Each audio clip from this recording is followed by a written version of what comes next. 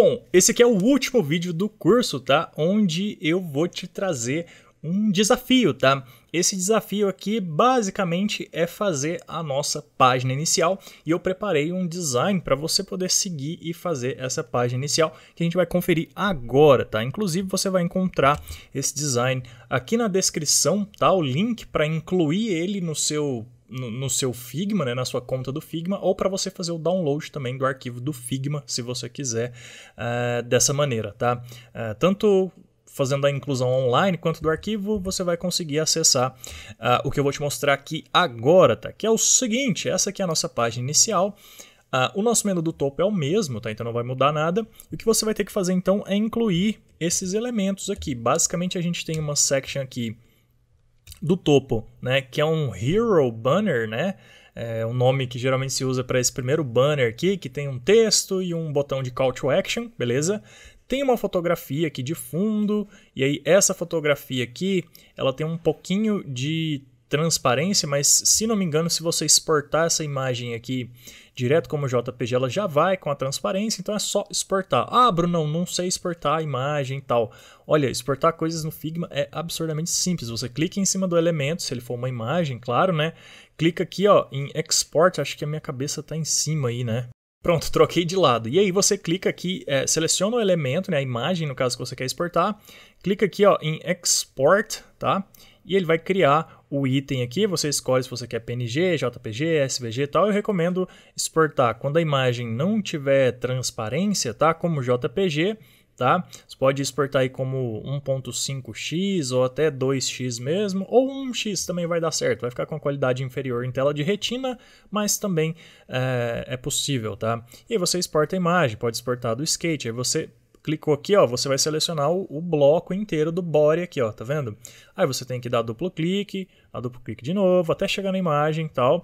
Ou você pode segurar a tecla Ctrl, tá? No seu teclado, que ele já, uh, vou fazer aqui na de baixo. Então, é, aqui eu fui até chegar no item, dando duplo clique. Nessa aqui, eu vou segurar a tecla Ctrl e vou clicar direto nele e aí já vai direto, como eu acabei de fazer aqui agora, beleza? Bom, eu não vou ficar explicando aqui Figma, eu vou gravar um curso rápido de Figma, vou deixar aqui disponível, não sei se a essa altura do campeonato, quando você estiver assistindo esse vídeo, já está pronto, tá? Mas vai ser um curso rapidinho, só ensinando a usar a interface mesmo e alguns macetes do Figma, tá? É, então dá uma olhada se esse vídeo já está pronto. Se não tiver, tem muito conteúdo no YouTube sobre como usar o Figma, pelo menos as funções básicas dele, para você conseguir conferir as cores, os tamanhos e tudo mais, tá?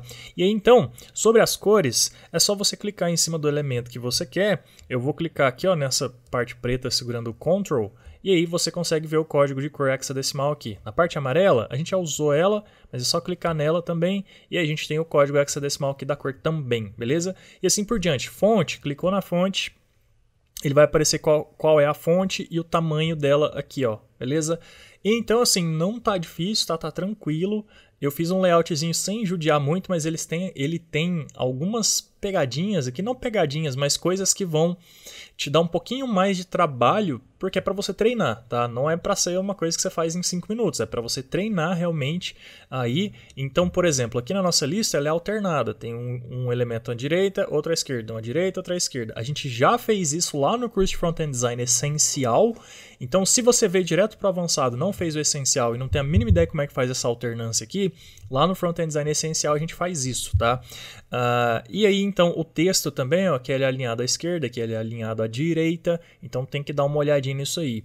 É, os espaçamentos eu deixei todos seguindo uma regra de 8-point grid, tá? Então são todos múltiplos de 8 os espaçamentos, tanto os paddings quanto os margins e tudo mais. Se falhou um ou outro, me perdoe, tá? é, acabou escapulindo aí na minha revisão, mas eu acho que eu revisei direitinho todos, tá? Então a gente tem essa lista muito simples e a ideia aqui é que quando a pessoa clicar aqui em começar agora, que vá para a página de produtos, tá? Que vá para a página aqui, ó, montar skate, beleza? Então você vai ter que colocar link nesse botão aqui do topo e em todos os outros, tá? Então mais um detalhezinho aí do desafio. E por último aqui a gente tem um rodapé simples, tá? A gente tem o um logo de novo, mais alguns links, agora com outra fonte aqui, né? outra formatação de texto. Essas outras páginas aqui, páginas aqui, elas não existem, tá? É, deixa eu dar um zoom aqui. uh, para você enxergar melhor, né? Aí agora sim, tá? Então essas páginas aqui elas não existem, beleza? É, mas é só para ficar aqui no, no footer mesmo para a gente compor ele, fazer uma composição, né?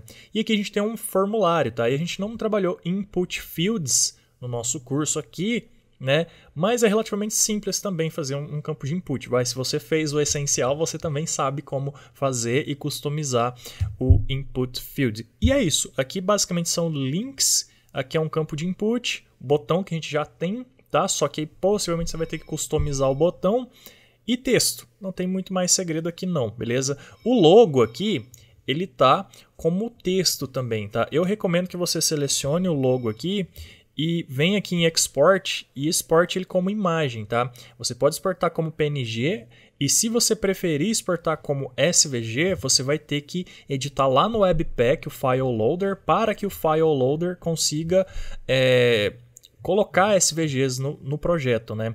Eu recomendo você ir de PNG mesmo se você não quiser ter um pouquinho de dor de cabeça, porque você vai ter que pesquisar um pouquinho mais sobre como o Webpack processa SVGs para você fazer as configurações lá corretas, tá? Se você quiser entender isso, exporta como SVG e depois dá uma googlada aí para você entender quais são as configurações para o Webpack fazer loading de SVG. Também que não é nada de muito complexo, como você já fez isso para outras coisas aqui no curso, tá? Você já sabe então que o Webpack ele tem lá os loaders e dependendo do caso, a gente precisa instalar plugins, tá? Então é isso que você vai ter que olhar se você optar por SVG. Mas se você quiser facilitar a sua vida, exporta o logo como PNG mesmo, tá? Porque até o momento ele está como texto aqui. Então só te explicando esse pequeno detalhe aqui no projeto. Uh, e no mais, é isso, tá? Esse é o desafio, bem tranquilão, só uma página inicial mesmo, nada muito complexo. Colocar os links nos botões, um input field que não existia mais e é isso, tá? Uh, espero que você tenha curtido. Quero ver os resultados. Fique à vontade também para trocar as cores do projeto, se você quiser trocar as imagens, enfim, se você quiser usar um pouco da sua criatividade, fique à vontade, tá? Uh, porque eu pretendo montar uma galeria com os resultados finais uh, do, do dos projetos e sempre estou divulgando nas redes sociais também. Então, você terminou me manda uma mensagem direta nas redes sociais ou por algum lugar falando, Bruno, terminei, manda um print tal, ou um vídeo que vai ser até mais legal ainda, tá? É, que eu tô sempre divulgando aí nas redes sociais também os trabalhos dos alunos conforme eles vão terminando. Belezinha? Bom, então é isso, esse é o desafio, tá? E valeu, valeu, parabéns por ter chegado até o final e espero que você conclua esse desafio também. Valeu, até a próxima aula.